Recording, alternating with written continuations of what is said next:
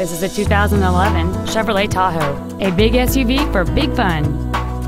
It features a 5.3-liter, eight-cylinder engine and an automatic transmission.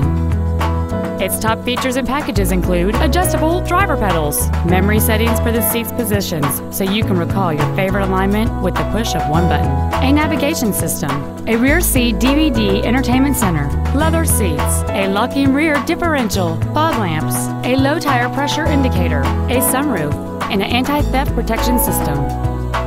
Contact us today and schedule your opportunity to see this vehicle in person.